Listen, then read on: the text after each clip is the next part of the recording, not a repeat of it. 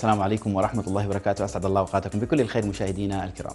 لا يزال الإعصار مكونة يتحرك ببطء على السواحل الجنوبية لشبه الجزيرة العربية وتأثر به اليمن وسلطنة عمان ونعيش حاليا تبعات هذا الإعصار وذلك بتواجد السحب الممطرة من وقت لآخر.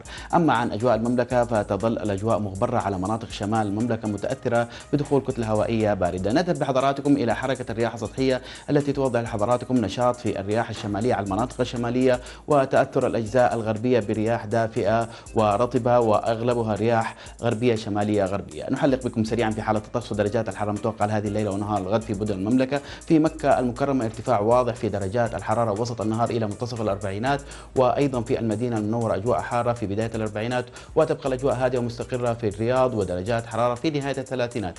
ونسب رطوبة عالية في المنطقة الشرقية ودرجات حرارة مرتفعة على معظم مناطق شمال المملكة وأيضا تنخفض درجات الحرارة عند ساعات الفجر الأولى إلى منتصف العشرينات نتيجة دخول الكتلة الهوائية الباردة. نسب رطوبة عالية في جدة وأجواء غائمة وسحب ركامية متوقعة على المرتفعات الجنوبية الغربية خاصة على مرتفعات عسير والباحة وتظل نسب الرطوبة مرتفعة في منطقة جازان أعزائي المشاهدين شكرا لحسن المتابعة. عودة جديدة إلى الزملاء وختام نشرة الأخبار.